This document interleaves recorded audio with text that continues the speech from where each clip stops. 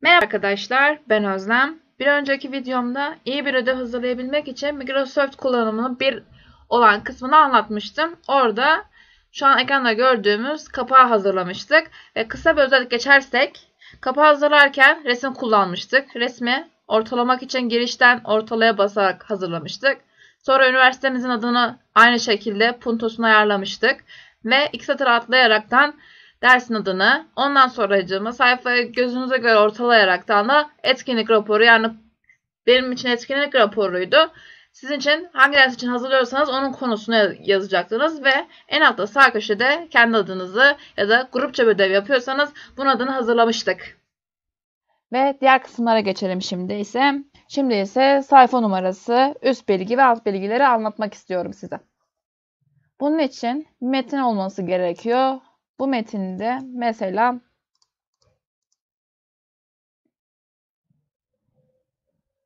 kendimiz oluşturalım ya da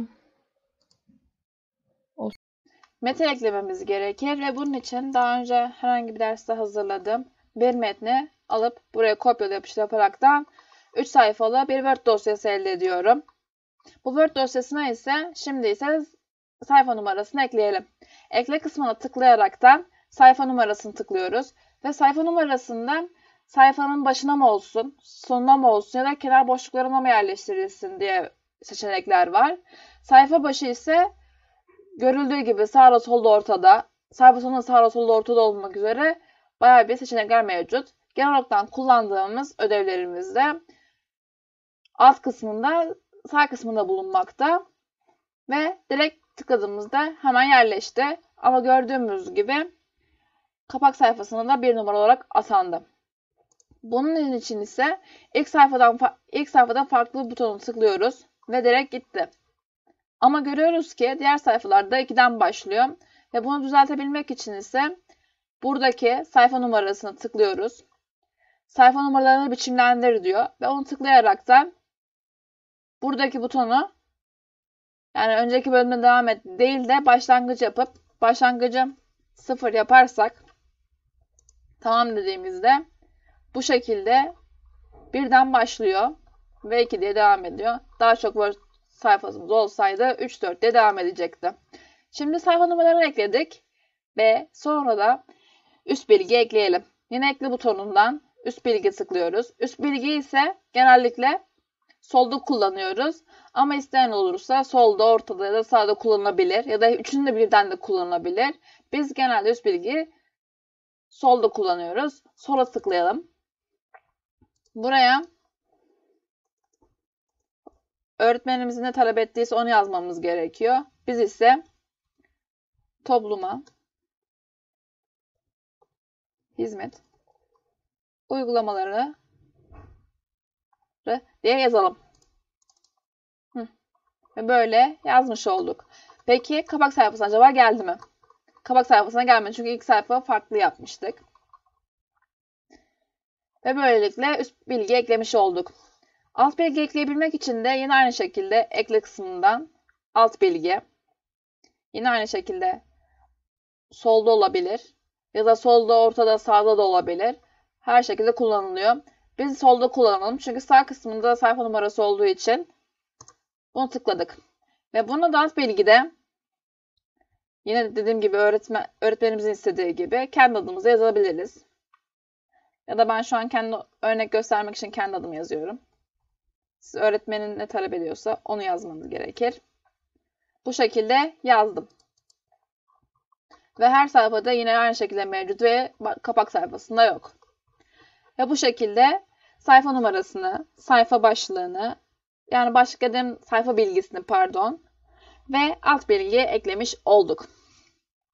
Sırada ise Word dosyamıza resim eklemede.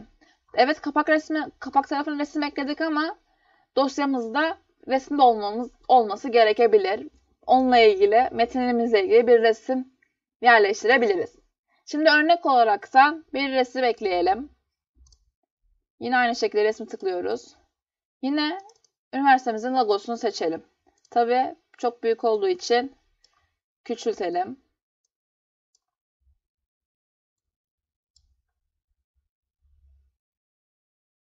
Tamam. Evet şu an düzelttim. Peki şu an görüldüğü gibi bunu yerleştirebilmek için böyle yerleştirebiliyoruz. Ama şu an o kadar ayrı durduğu için metinler metinde bir akıcılık oluşmadı. Metinde akıcılık oluşabilmesi için ne yapıyoruz?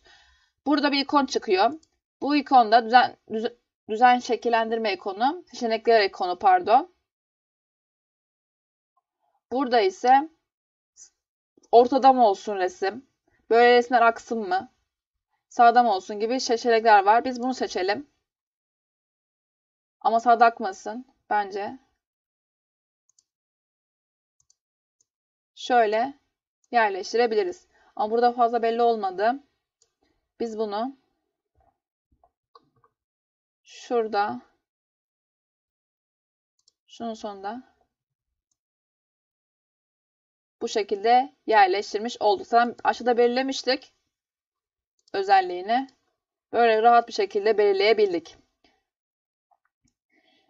Resim ekleme kısmı da böyle. Başka bir resim eklemek istersek eğer tekrar ekle kısmından resimlerden yine seçebiliriz. Ama ben yine aynı resmi yerleştireceğim. Ve bunun için yine ilkindeki gibi boyutunu ayarlayacağım. Bu boyut mesela iyi. Ve bunu yerleştirmek için farklı olsun diye bu sefer biraz daha üstte buraya yerleştireceğim. Ve yine akıcılığı sağlayabilmek için tıkladığımızda yanlara metin olsun diyerekten ve böyle kaydıraraktan yerlerini ayarlayabiliyoruz. Mesela yukarıya çıkartabiliyoruz. Bu şekilde ayarlayabiliriz. Şu an metinle konu pek bir alakalı olmadı ama siz resimlerinizi, fotoğraflarınızı ya da görsellerinizi, şekillerinizi görsel olarak ne kullanacaksanız Word'de konuyla alakalı yaptığınızda gerçekten akıcı ve daha da akılda kalıcı olaraktan bir Word dosyası rapor olaraktan hazırlamış olacaksınızdır. Böylelikle bu videomuzun sonuna doğru gelmekteyiz. Genel olarak bir değerlendirme yapacak olursak üst bilgiyi, alt bilgiyi anlattım, sayfa numarasını anlattım ve resimlerinizi nasıl seçeceğinizi, nasıl ekleyeceğinizi ve akışı nasıl bozmadan resimlerinize yerleştirebileceğinizi öğrettim. Umarım bu videomda sizin için bir yararlı olmuştur. Kendinize iyi bakın, sağlıcakla kalın.